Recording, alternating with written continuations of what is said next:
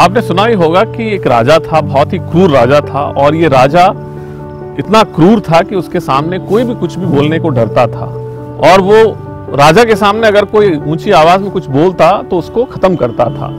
ऐसा राजा एक दिन उसने बिना कपड़ों के अपने शहर में घोड़े पे बैठकर घूम रहा था और कोई भी व्यक्ति उसको बोल ही नहीं पा रहा था।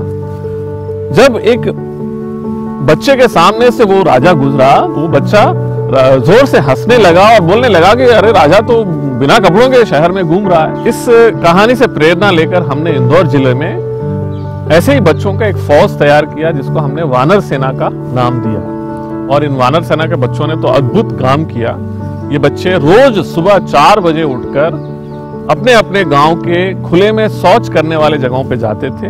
वहाँ पर अपने विजिल लेकर विजिल बजाते थे और जो खुले में शौच करने के लिए जाते थे, उनके डब्बे ढोलना और उन्हें बताना कि आप जो कर रहे हो, ये खुले में जो शौच कर रहे हो, ये गलत है।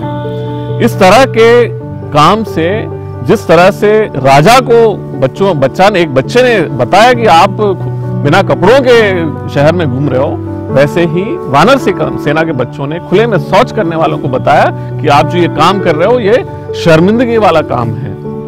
और जब लोगों को महसूस हुआ कि वो जो काम कर रहे हैं गलत है तो वो अपने घर पहुँचे और खुद ही अपने घर में शौचालय बनाए और खुले में शौच करना बंद कर दिया। इस तरह से वानर सेना के बच्चों ने एक अद्भुत काम करते हुए इंदौर ज़िले के 312 ग्राम पंचायतों में हर गाँव में खुले में शौच मुक्त वातावरण निर्मित करने में अपना अभूतपूर्व योगदान दिया। शुरुआत में तो कुछ ही बच्चों को हमने इस वानर सेना के दल में जोड़ा था, पर धीरे धीरे जैसे माहौल बनता गया और बच्चे इस वानर सेना के दल में जोड़ना चाह रहे थे और वो और बच्चे अपने आप खुले में शौच मुक्त वातावरण निर्मित करने के लिए उत्सुकता के साथ भाग लेने आए थे।